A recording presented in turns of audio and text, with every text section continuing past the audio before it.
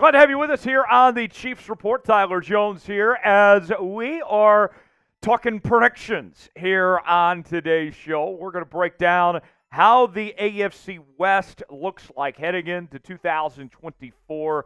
We'll give our record predictions for all four teams, including your Kansas City Chiefs, and hand out some superlatives for all four teams as well, coming up in just a matter of moments. Before we do, since we're talking about the AFC West, do you want the Chiefs to win the AFC West?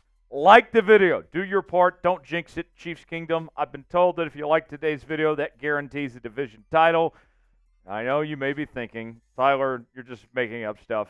Maybe I am. But why even jinx it? Why even take the chance? Just do your part. Like the video, we'll get started with today's show. Let's head to Denver first and begin with the Denver Broncos. And I think when you look at this Broncos team, they are the most likely to still not find their answer at the quarterback position. Ever since Peyton Manning left town, this team has been cursed at QB, and it has been glorious and very entertaining to watch. For the likes of Trevor Siemian to uh, Paxton Lynch, Russell Wilson was a disaster. Uh, you go on down the line, it's just been damn brutal for the Denver Broncos at quarterback. And I think Bo Nix is not going to be their savior of sorts. He's not that guy, pal. Bo Nix, I have never been a fan of. He started his career with the Auburn Tigers and was just all over the place. Ends up going to Oregon, where he was, you know, close to 40 years old by the time he got to Oregon. And he led the nation in completion percentage, put up some really good numbers, uh, set the FBS record for completion percentage there with the Oregon Ducks. But I mean, it was a quarterback friendly system. He was going up against easier defenses in the Pac 12 than he faced at Oregon, that he faced at Auburn. I think at the end of the day, he's still the same QB he was with the Auburn Tigers. And I'm just not impressed. Bo Nix, to me, is not going to be a franchise quarterback that's not going, uh, he's not going to get the t- job done, win the important games when it matters. And I think Sean Payton is clearly overrated. He has not been the same coach without Drew Brees, and I have no reason to think that they are going to develop and turn things around and get this program on track where it needs to be. And with all that they've lost this offseason, uh, of the changes that they've made, with all that money they're paying Russ and moving on from Jerry Jeudy and among other things there, I think it's going to be a disastrous year for the, the, the Donkeys this year. I got the Donkeys going 3 and 14 in 2024 and having one of the worst records in the NFL this year. Now, we're going to talk about another bad quarterback in the division in just a moment the Las Vegas Raiders, Aidan O'Connell, AOC. Who's the worst QB in this division? Is it Bo Nix or is it Aidan O'Connell? We're going to give Justin Herbert the benefit of the doubt here. We don't include him in this for obvious reasons. Uh, who is it? Weigh in our pin comment today. Let us know. Type Bo for Bo Nix. AOC for Aidan O'Connell. Let us know. Let's go to Los Angeles now, where the LA Chargers, I believe, are the team most likely to finish in second and compete for a wild card spot. I got to tell you, I think the Chargers actually had a good offseason, all things considered. I thought they nailed it with hiring Jim Harbaugh. We'll talk about that here in just a second. Uh, they were in salary cap hell and really just made the most of the circumstance that they had with uh, restructuring deals with their star defensive players, Khalil Mack and Bosa. They traded Keenan, out Keenan Allen away to the Chicago Bears uh, and got some draft capital out of him. They released Mike Williams. He ended up signing with the New York Jets, so there was an obvious hole at the receiver position. You did bring in DJ Chark from Carolina. That should help things. You bring in J.K. Dobbins from Baltimore. You got some reinforcements in that backfield. And then the draft. Uh, you bring in Joe Alt. We knew they need help on the offensive line. Uh, they also drafted Ladd McConkey to help out that wide receiver spot. I thought, all things considered, the Chargers are headed in the right track. And I think that Jim Harbaugh is a significant upgrade from Brandon Staley at the head coaching position. I think you look at Jim Harbaugh and his track record. He's won everywhere he's been, right? Michigan, the Niners, taking them to a Super Bowl.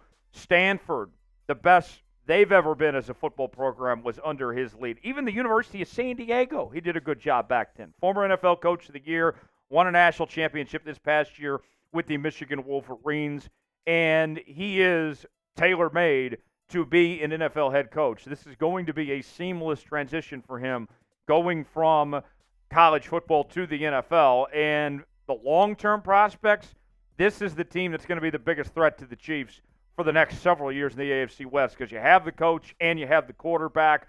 I think the Chargers take a step in the right direction. They have a tough schedule, though. I think they go 9 and 8 in contention for one of those final wild card spots, a winning record, and a successful year for the Chargers moving forward.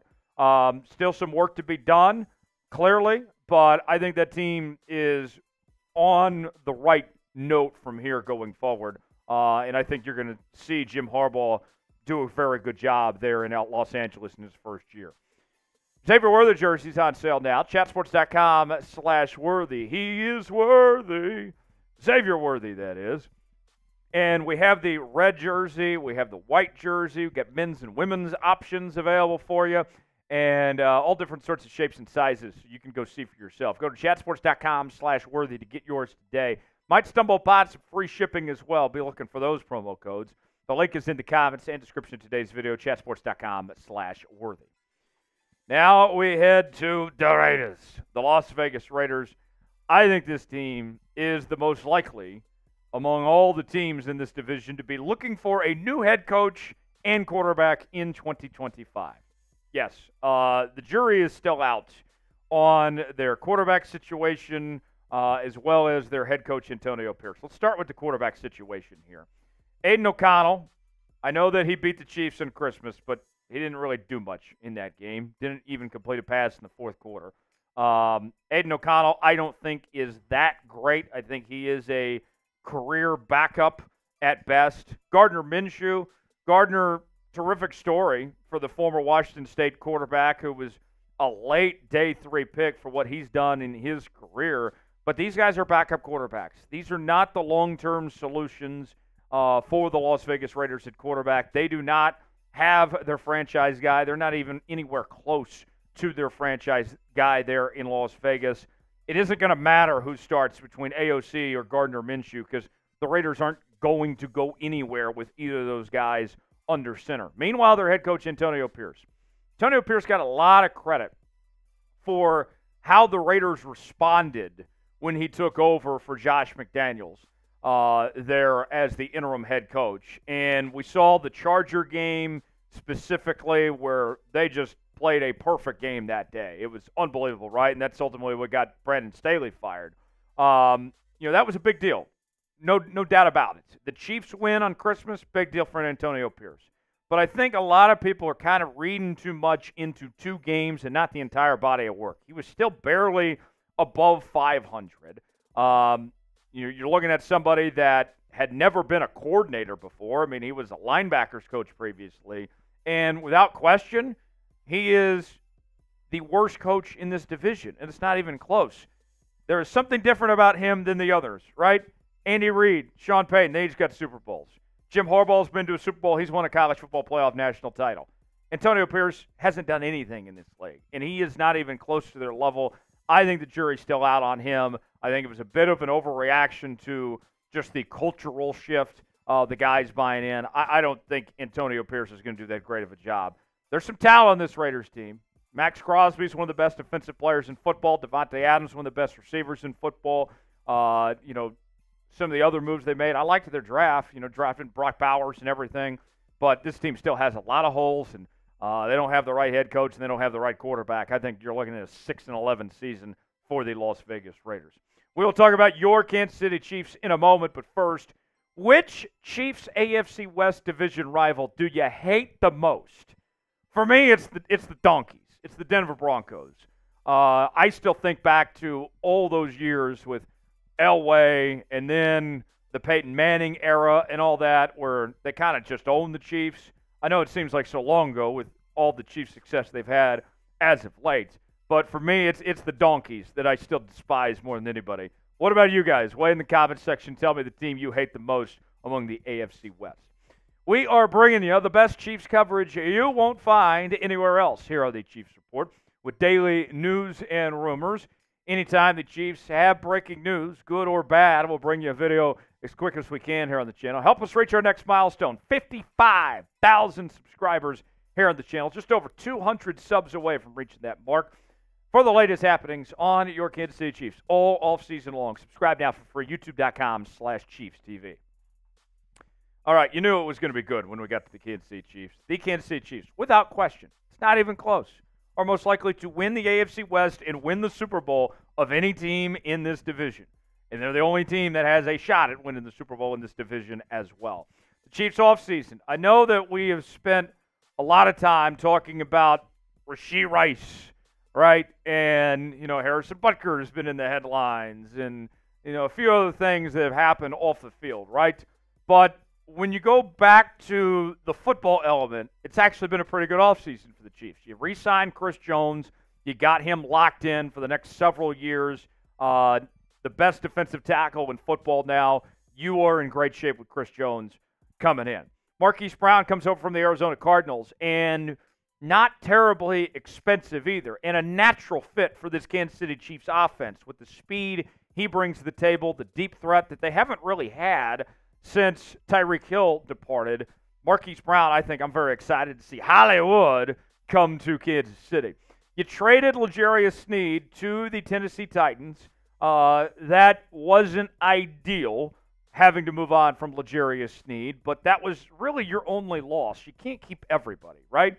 You signed Irv Smith from Cincinnati. He'll compete for one of those uh, tight end roles. And then the draft, I thought the Chiefs had a very good draft. I loved the pick of Xavier Worthy. You pair him up with Marquise Brown and Rashee Rice, all of a sudden, this Chiefs receiving corps looks a lot better than what it did in 2023 when they had the worst receiving corps in the entire NFL this past year. And then, like the standard, right? The Chiefs, until somebody takes it away from them, they are the team to beat until said otherwise. This run, you know, I knew this mentally in my head, but it's another thing when you just see it visually, see it on screen, right? This is the type of thing that everybody watching right now should just stop and smile when they see this, folks. Like the last six years, this has been the Mahomes era of him as the full time starter, have been nothing like anything we've ever seen in the National Football League. 2018, 12 and 4, lost in the AFC Championship game. 2019, 12 and 4, won the Super Bowl. 2020, 14 and 2, lost in the Super Bowl against Tampa Bay. 2021, 12 and 5, lost in the AFC Championship to Cincinnati. 2022, 14 and 3, Super Bowl title over Philly. Last year, the worst record, the worst team of the Mahomes era at 11 and 6. What they do? They still won the Super Bowl. So, folks, there's no reason to think that based on this offseason that things are going to be any different. The Chiefs are still the team to beat. They're even a better team than they were a season ago. I think this is a 14 and 3 campaign for the Kansas City Chiefs, and they're right back to uh, where they've been of being the favorites to win the whole thing once again. What will the Chiefs' final record be for 2024? Wait in the comment section. Let us know what you think. Three-peat? Sounds nice to me. Let us know what you think. I'm Tyler Jones. Appreciate you joining us. We'll see you next time here on the Chiefs Report.